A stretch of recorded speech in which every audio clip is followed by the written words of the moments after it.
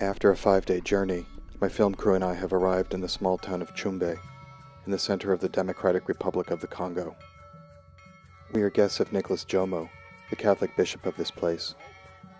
More than a year earlier, Djomo had invited me to come to see his Congo, and perhaps to help him show something other than a relentless story of his country's misery.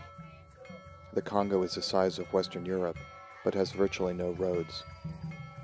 Congolese cities and towns are isolated islands of settlement that struggle just to get by.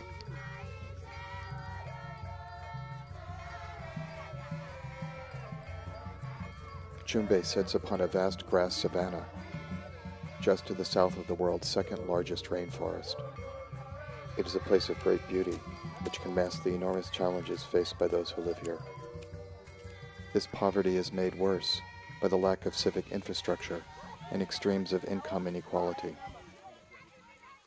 The suffering of the Congo's past and present should not be minimized or understated. But these people are more than the failures of their country, and their lives cannot be condensed into a soundbite on the evening news.